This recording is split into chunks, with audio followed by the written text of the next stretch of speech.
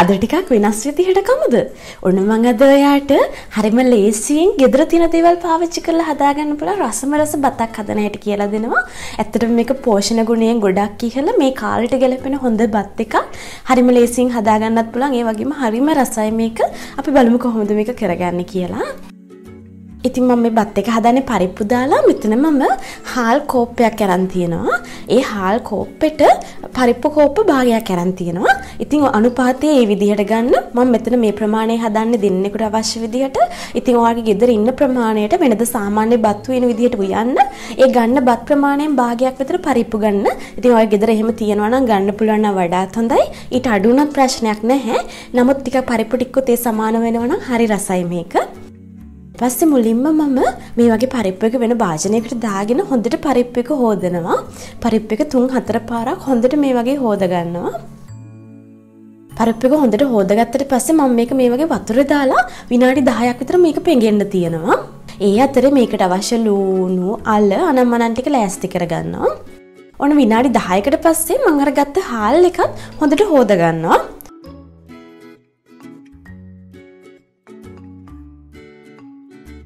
අන්තිමේටම පරිප්පු එකේ වතුර එකත් මේ වගේ පෙරා ගන්නවා. මම ඒක හාල් එකටම දාගන්නවා පරිප්පු ටිකත්. දැන් මේ වෙලාවේ පරිප්පු ටික විනාඩි 10ක් 15ක් විතර හොඳට පෙඟිලා තියෙන්නේ. හැබැයි අපි හාල් එක පොඟව ගන්නෙ නැහැ. හැබැයි ඔය බාස්මති හාල් ගන්නවා නම් හාල් එකත් පරිප්පු එකත් පොඟව ගන්න වෙලාවෙම පොඟව ගන්න පුළුවන්. මොකද අපි බාස්මති හාල් එක විනාඩි 10ක් 15ක් විතර පොඟවගෙන ඉවුවාම තමයි මේක හොඳ රසට එන්නේ. මම අද ගත්තේ කීරි සම්බා. ඒක නිසා මම මේ හාල් එක පොඟව ගන්නෙ නැහැ. බාස්මති වගේ ගන්නවා නම් පරිප්පු එකත් එක්කම පොඟව ගන්න. ඊට පස්සේ දැන් අද මම මේක හදන්නේ රයිස් කුකර් එකේ. ඔයාලට මතකද දන්නේ මම බිරියානි එක හැදුවා මේ විදිහටම ලිපේ තියලා රයිස් කුකර් එකේ කෑල්ල. ඊට පස්සේ අන්තිමේදී බත් එකේ දෙන්න අපිට මේක තියාගන්න පුළුවන්. ඉතින් ඔයා මේක හොඳට මතක තියාගෙන පුරුද්දක් විදිහට කරන්න එපා. එහෙම නැති වුණොත් එහෙම රයිස් කුකර් එක යටින් ඇඹෙන්න පුළුවන්. ඒක නිසා කලාතුරකින් මෙහෙම කරාට කමක් නැහැ. නිතරම මේ වැඩේ කරන්න යන්න එපා. මේකට මම තෙල් ටිකක් දාගත්තා. තෙල් මේස හැඳ දෙකක් විතර. ඒකටම ගිතෙල් ටිකකුත් දාගන්නවා. ඉතින් ගිතෙල් තියෙනවා නම් හරිම රසයි මේක. එහෙම නැත්නම් බටර් ටිකක් දාගන්න. එහෙම මොකුත් නැත්නම් තෙල් මේස හැඳ තුනක් විතර මේකට පාවිච්චි කරන්න පුළුවන්. දැන් මම මේකට සූදුරු වලින් තේ හැන්දක් දාගන්නවා. සූදුරු කියන්නේ හරිම ගුණ දෙයක්. ගෙදර තියෙනවා නම් අනිවාර්යෙන් එකතු කරගන්න. ඒකටම ගම්මිරිසට ටිකකුත් දාගන්නවා. මේ දෙක පොඩ්ඩක් තෙල් එකේ බැදෙන්න දෙනවා. ඊළඟට කරාමුණටි තුනකුයි කුරුදු පොත්තකුයි එකතු කරගන්නවා. ඒ ටිකත් පොඩ්ඩක් තෙල් එකේ බැදුනට පස්සේ මම මේකට ලුණු ගෙඩියක් කපාගෙන දානවා. ලුණු ගෙඩිය හීනියට කපලා තියෙන්නේ. දැන් මේ ටික ඔක්කොම හොඳට පොඩ්ඩක් තෙල් එකේ බැදෙන්න ඕනේ. හොඳට මතක තියාගන්න අඩු ගින්දරේ තමයි අපි මේක කරගන්නේ. හොඳටම අඩු ගින්දරේ මේ වැඩේ කරගන්න ඕනේ. එහෙම නැත්නම් එහෙම මේවා පොඩ්ඩක් හරි පිච්චුනොත් එහෙම අපිට කර රහක් එන්න පුළුවන්. ඊළඟට කරපිංචෙති දෙකකුත් මේකට දාගන්නවා. රම්ප කෑල්ලකුත් දාගත්තා. ඉතින් මේ දාන හැම දෙයක්ම අනිවාර්ය නෑ. ඔය ගෙදර තියෙන විදිහට දාගන්න. මේ හැම දෙයකින්ම අපේ බත් එකේ රස වැඩි වෙනවා. ඒ වගේම බත් එකේ පෝෂණ ගුණයත් වැඩි වෙනවා. මේ ටික ඔක්කොම හොඳට ටෙම්පරාදුව කරන්න ඕනේ. අඩු ගින්දරේ ටෙම්පරාදු කරගන්න. අපි මේව පොඩ්ඩක්වත් පුච්ච ගන්නේ නැහැ. ලුණු එකේම හොඳට තැම්බිලා බාගෙට ටෙම්පරාදු වෙද්දී මම මේකට හීනියට කපාගත්ත අම්මිරිස් කරාල දෙකක් ඒ වගේම තක්කාලි ගෙඩියක් දාගන්නවා. තක්කාලි කන්නේ නැති අයට තක්කාලි නොදා හදාගන්න පුළුවන් මේක. ලුණු එක චුට්ටක් හොඳට බැදුනට පස්සේ මම මේකට අල ගෙඩියක් කපාගෙන දානවා.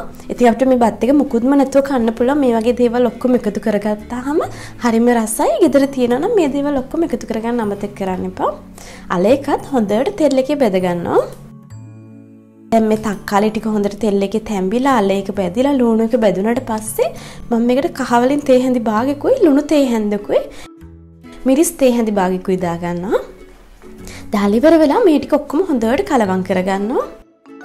ආයෙම දැම්මහම අපිට මේ බත් එකෙන් හොඳ ලස්සන පාටක් ගන්න පුළුවන්.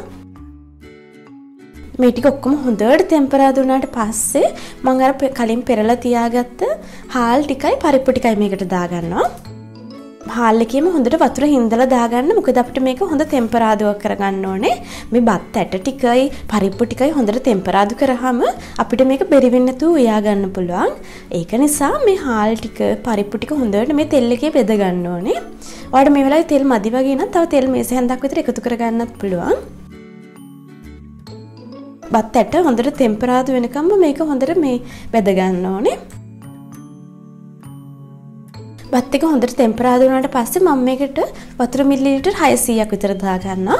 ඉතින් ඔයා සාමාන්‍ය වෙනදට උයන බත් එකේ ප්‍රමාණයට මේකට වතුර දාගන්න. ඉතින් ඔයා බත් ගන්න ප්‍රමාණයත් එක්ක මේ වතුර ප්‍රමාණය වෙනස් වෙනවා. ඔයා වෙනදට දාගන්න වතුර ප්‍රමාණයට මේ බත් එකට වතුර දාගන්න පුළුවන්. දැන් මේ වටේ තියෙන ඒවත් මේ බත් එකේ වතුරකට මේ වගේ එකතු කරගන්න. දැන් මේ වෙලාවේ ලුණු බලන්න ලුණු මදින ලුණු ටිකක් දාගන්න. මට ලුණු ටිකක් මදි වගේ ඒක නිසා මම තව ලුණු තේන්දි භාගයක් විතර මේකට එකතු කරගන්නවා. දැන් මම මේක රයිස් කුකර් එකෙන් තියාගන්න යන්නේ. රයිස් කුකර් එකේ තියලා ඔන්න එකට දාන්න. ඔන්න දැන් මගේ බත් එක හොඳට මිදිලා තියෙන්නේ. මේ වෙලාවේ මුළු ගෙදරම සුවඳයි මේ බත් එකකින්ද හරිම සුවඳක් එනවා. ඇත්තටම රසත් ඒ වගේ. බත් එක ඉදුණට පස්සේ මම මේ වගේ හැන්දෙන් පොඩ්ඩක් කූරු ගන්නවා. දැන් අපිට මේ බත් එක කන්න තමයි තියෙන්නේ. ඉතින් හරිම ගුණදායක බත් එකක්. ඒ වගේම හරිම රසයි. try කරලා බලන්න. මම ඉතින් ඔයාලට මේ බත් එක කන්න කිසිම දෙයක් ඕනේ හරිම රසයි. නිකම්ම කන්න පුළුවන්. මම මේ බත් එක කන්න චට්නි චුට්ටක් දාගන්නවා. ඉතින් ඔයාලට මේක chili paste ටිකක් හරි චට්නි පොඩි ඇඹුලට මොනවා හරි දෙයක් කන්න තියෙනවා නම් ඒත් රසයි. එහෙම මොකුත් නැතු නිකම්ම වුණත් මේක කන්න පුළුවන්. ඉතින් මම හිතනවා අද රෙසිපි එකටත් ඔයා ගොඩක් කැමති වෙන්න ඇති කියලා. ඉතින් ඔයා මේ රෙසිපි එකට කැමති නම් අනිවාර්යෙන් like එකක් comment එකක් දාන්න. මම තම subscribe කරේ නැත්නම් subscribe කරන්න තමත අමතක කරන්න එපා.